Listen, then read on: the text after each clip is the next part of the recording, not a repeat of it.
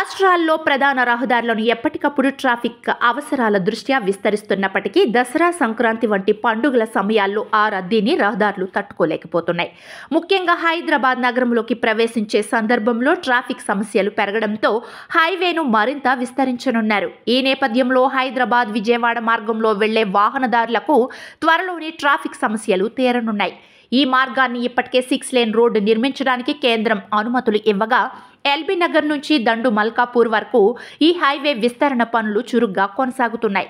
ఈ ప్రాజెక్టుకు రెండు వేల ఇరవై ఒకటిలోనే అనుమతులు వచ్చినప్పటికీ కరోనా మరియు భూసేకరణ నిమిత్తం కొంత ఆలస్యం జరిగింది.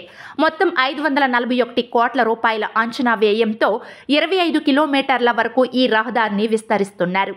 ఈ మార్గంలో మొత్తం ఎనిమిది ఫ్లైఓవర్లను ఫ్లైఓవర్లకు ఇరువైపులా సర్వీస్ రోడ్లను నిర్మించనున్నారు. ఎల్బీ నగర్ నుంచి దండు మల్కాపూర్ వరకు కొన్ని ప్రాంతాల్లో ఇప్పటికే సిక్స్ లేన్ల రోడ్డు ఉండగా కొన్ని చోట్ల మాత్రం ఫోర్ లేన్ల రోడ్డే ఉంది. దీంతో మొత్తం ఇరవై ఐదు కిలోమీటర్ల మేర ఆరు లేన్ల రోడ్డు పూర్తి చేసేందుకు పనులు జరుగుతున్నాయి.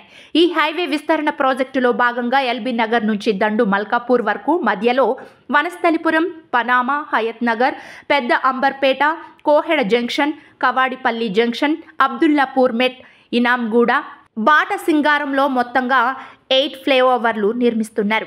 హయత్ నగర్ దాటిన తర్వాత ఇప్పటికే రెండు ఫ్లైఓవర్లు పూర్తి కాగా వాహనాల రాకపోకలు కొనసాగుతున్నాయి. ఇక హయత్ నగర్ దగ్గర నిర్మిస్తున్న మరో రెండు ఫ్లైఓవర్లు కూడా చివరి దశకు చేరుకున్నాయి.